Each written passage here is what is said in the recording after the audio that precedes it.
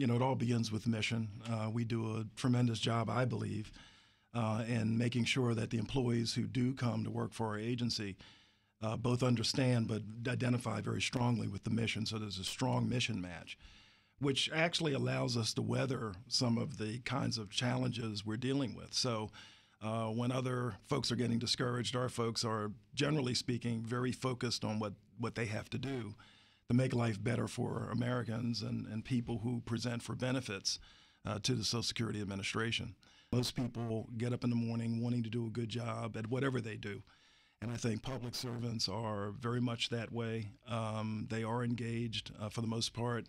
Um, it's kind of hard to stay in something like this if you're not. I didn't necessarily start out planning to be in government. I, I, I have a degree in social psychology. I was going to be in more of an academic setting initially, but started working in government, and it just was the natural thing to do.